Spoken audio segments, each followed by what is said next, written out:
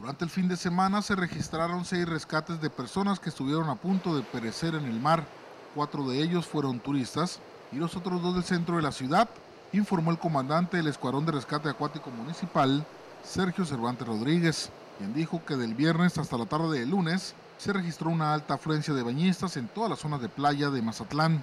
Con el puente que hubo largo, pues este, arribó bastante gente, bastante turista al, al puerto y por, ende buscaban las playas, ¿no? Entonces, eh, afortunadamente todo estuvo tranquilo, sí tuvimos algunos rescates por ahí, ¿no? Algunas seis personas rescatadas, eh, hubo cierto movimiento de, de, de, oleajes ahí en el, en el mar. De hecho, se, se, siguen dando las indicaciones, ¿no? Que la gente se bañe en lugares tranquilos. Sergio Cervantes dijo que en cada fin de semana, desafortunadamente, se sigue presentando el problema de que algunos turistas se meten a bañar con ropa inadecuada o en estado inconveniente.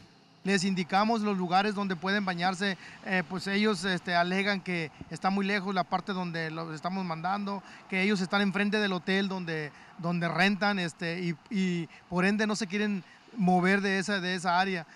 Este, aparte, aparte traen el, pues, pantalones, camisas, este, se bañan con camisas, con pantalones, con tenis a veces. Este, ese es el tipo de problema que, que, tenemos, ¿no? Aparte, pues ingieren bebidas, vienen a comer y a, y a beber este, pues, en demasiado y, y por ende se meten al mar y ahí es donde llegan a tener problemas. Dijo que las condiciones del mar en la mayoría de las zonas de playa son óptimas y solo se mantienen maderas rojas de peligro en las zonas conflictivas como lo es el tramo de la Avenida del Mar, desde la bomba del acuario a Valentinos, en Playa Brujas y en las escolleras y zonas rocosas de la zona dorada.